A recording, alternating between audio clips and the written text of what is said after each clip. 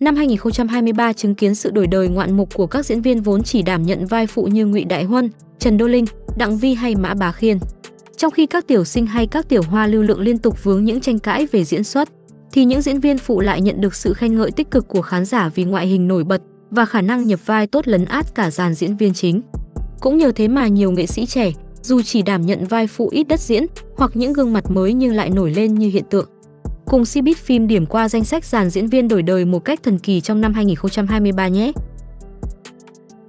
Ngụy Đại Huân thoát vòng một cách không ai ngờ đến. Trong phim Khói lửa nhân gian của tôi, Ngụy Đại Huân đóng vai nam phụ Mạnh Yến Thần, còn Dương Dương thể hiện vai nam chính Tống Diệm, cả hai là tình địch, cùng đem lòng yêu hứa thấm do Vương Sở Nhiên diễn. Tuy nhiên, danh tiếng và diễn xuất của hai nam diễn viên trong Khói lửa nhân gian của tôi như hai thái cực khác nhau. Nam phụ Ngụy Đại Huân danh tiếng thăng hoa, còn nam chính Dương Dương thì dường như chạm đáy cả về diễn xuất lẫn danh tiếng. Trong khi Dương Dương bị chê diễn xuất đơ cứng, thường làm màu, thích tỏ ra ngầu đẹp trai, dẫn đến nhận nhiều lời phê bình của khán giả. Ngụy Đại Huân lại được khen hết lời khi vào vai người anh trai si tình, yêu thầm em gái nuôi nhưng không dám thổ lộ, chỉ có thể lặng lẽ chăm sóc, quan tâm em gái. Đất diễn của Ngụy Đại Huân trong mỗi tập chỉ khoảng 3 đến 4 phút, nhưng nam diễn viên sinh năm 1989 đã thổi hồn vào nhân vật, tạo nên mị lực với người xem bằng lối diễn xuất tinh tế, cùng đôi mắt biết nói. Do đó, sau khi phim lên sóng, các chỉ số truyền thông của Ngụy Đại Huân đều tăng vọt, lượng người theo dõi anh tăng hàng trăm nghìn người mỗi ngày. Thậm chí, lượng tương tác trên trang Weibo của Ngụy Đại Huân có lúc còn cao hơn so với một đỉnh lưu lâu năm, có nhiều fan như Dương Dương. Các trang truyền thông của Trung Quốc đều đánh giá rằng vai diễn Mạnh Yến Thần của Ngụy Đại Huân là một trong những nhân vật bùng nổ nhất mùa hè 2023. Trần Đô Linh, Bạch Nguyệt Quang của Cbiz Tương tự trường hợp Ngụy Đại Huân, màn thể hiện của Trần Đô Linh trong trường Nguyệt Tẫn Minh cũng nhận được sự khen ngợi của công chúng. Nữ diễn viên sinh năm 1993 đã thể hiện xuất sắc nhân vật ác nữ Thiên Hoan, người được cư dân mạng ví von là mặt tựa quan âm, tâm địa như rắn rết. Thiên Hoan có tình yêu cực đoan dành cho Minh Dạ, La Vân Hy và ra tay đổ sát cả gia tộc nữ chính. Trong phần mộng cảnh, cô lại là Diệp Băng Thường, chị gái của Diệp Tịch Vụ, Bạch Lộc, nhưng tâm địa của nàng cũng độc ác không kém gì Thiên Hoan. Từ tạo hình đến cách trang điểm hay cảnh Thiên Hoan ra lệnh giết người đều trở thành xu hướng và được lan truyền mạnh mẽ trên các nền tảng mạng xã hội Trung Quốc. Trần Đô Linh từ vị trí bị đánh giá là bình hoa di động dần được công nhận diễn xuất. Ngược lại, thiết lập nhân vật và diễn xuất của Bạch Lộc trong phim Trường Nguyệt Tẫn Minh lại bị chê không ít, bị nữ phụ lấn át, rơi vào tình cảnh xấu hổ. Mã Bá Khiên, lật ngược tình thế, Bộ phim Vụng trộm không thể giấu do Triệu Lộ Tư và Trần Chiết Viễn đóng chính, trong thời gian lên sóng đã nhận về không ít lời chê bai về kịch bản, cũng như hình tượng và diễn xuất của cặp đôi chính. Người duy nhất chiếm được cảm tình của khán giả là Mã Bá Khiên thủ vai Tăng Diên, anh trai nữ chính Tăng Trĩ. Thực tế, khi biết Mã Bá Khiên đảm nhận vai Tăng Diên, hầu hết người hâm mộ của chuyện đều phản đối vì cho rằng anh chàng có ngoại hình không đủ đẹp. Tuy nhiên, khi lên sóng, ý kiến của khán giả thay đổi hoàn toàn nhờ vào diễn xuất hài hước, duyên dáng của Mã Bá Khiên. Nhờ đó, các chỉ số truyền thông, lượng người theo dõi của Mã Bá Khiên tăng cao, sự nghiệp nở rộ. Mã Bá Khiên sinh năm 1996 bước vào giới giải trí với vai trò ca sĩ.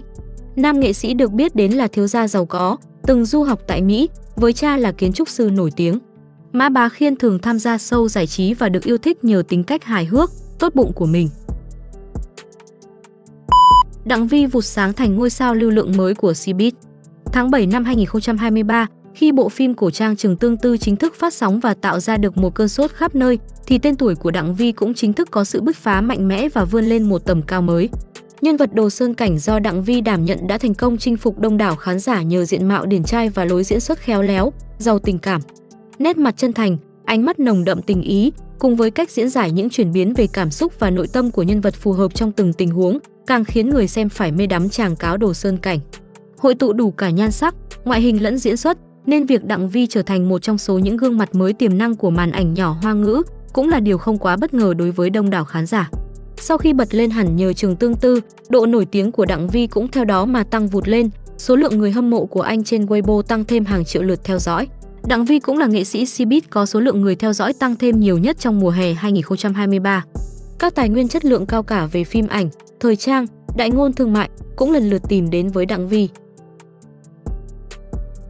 Chu Dực Nhiên trở thành nam thần thanh xuân vườn trường. Khác với các trường hợp trên, Chu Dực Nhiên thể hiện vai chính Trương Lục Nhượng trong phim truyền hình Thanh xuân học đường khi anh chạy về phía em và nhận được sự yêu thích của khán giả.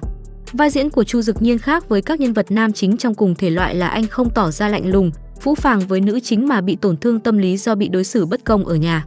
Do đó, Trương Lục Nhượng luôn một lòng hướng về nữ chính Tô Tại Tại, cô gái luôn lạc quan, đáng yêu như mặt trời nhỏ. Các tình tiết dễ thương, ngọt ngào của tình yêu gà bông thổi học trò trong phim cũng khiến trái tim người xem phải sao xuyến, rung động. Nam diễn viên sinh năm 2000 được đánh giá là hợp với dòng phim Thanh xuân vườn trường, trở thành hiện tượng mới nổi của giới giải trí hoa ngữ với lượng người theo dõi trên trang cá nhân tăng vọt.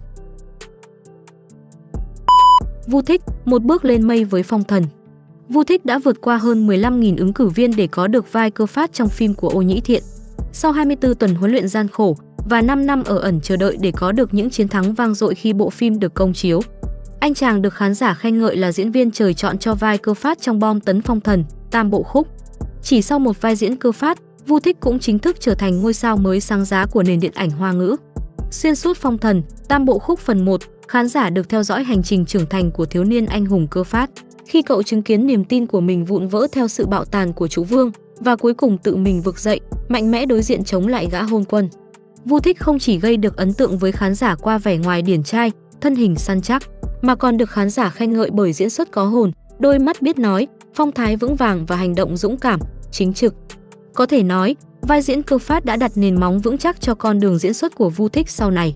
Bên cạnh đó, phần 2 và phần 3 của Phong Thần Tam Bộ Khúc cũng đang trong quá trình chuẩn bị phát sóng, hứa hẹn sự bùng nổ lớn hơn của Vu Thích trong tương lai. Thừa lỗi, nam phụ được săn đón nhất sau mùa hè 2023. Với vai nam phụ cung thượng giác trong phim Vân Chi Vũ, Thừa lỗi đã nhận được sự khen ngợi hết lời về nhan sắc lẫn năng lực diễn xuất. Sau khi Vân Chi Vũ phát sóng, sự nghiệp của Thừa lỗi từ đó cũng thăng hoa thấy rõ, độ nổi tiếng của nam diễn viên cũng tăng cao bất ngờ, trở thành một trong những nam diễn viên được quan tâm nhất tại Cbiz trong nửa cuối năm 2023. Xuyên suốt sự nghiệp của mình, Thừa lỗi đa phần đóng vai phụ trong các dự án mà mình tham gia. Mặc dù không có nhiều thời lượng lên hình nhưng các vai diễn của anh đều gây chú ý nhờ nhan sắc nổi bật, gương mặt sáng và diễn xuất linh động. Trước cả Vân Chi Vũ, vai nam phụ của Thừa Lỗi trong phương pháp khám phá tình yêu cũng khiến khán giả vô cùng thích thú, lấn át cả diễn xuất gượng gạo của nam chính Cao Hãn Vũ. Sau đó đến Vân Chi Vũ, hình tượng cung thượng giác của Thừa Lỗi trở thành cơn sốt, vượt mặt tất cả nhân vật nam khác trong phim, bao gồm cả nam chính cung tử Vũ của Trương Lăng Hách. Chính vì vậy, Thừa Lỗi được khen ngợi là nam phụ cực phẩm, sở hữu vi rùa và diễn xuất có thể đè bẹp bất kỳ nam chính nào.